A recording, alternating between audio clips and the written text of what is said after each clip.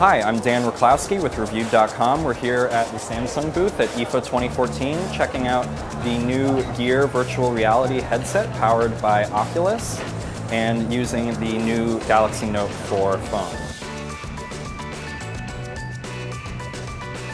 This is the first commercially available Oculus product and it, it works pretty simply here. You just snap in your Galaxy Note 4 and attach this protective cover. Let's see how it works.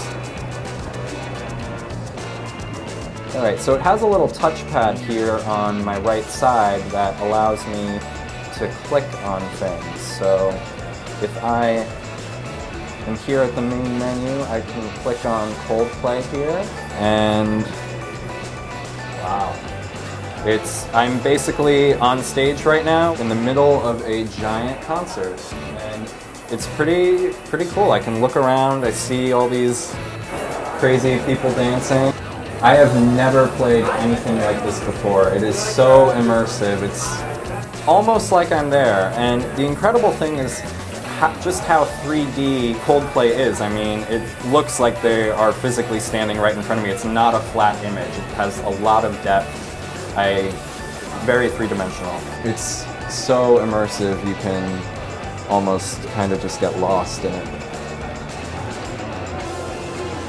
That's different.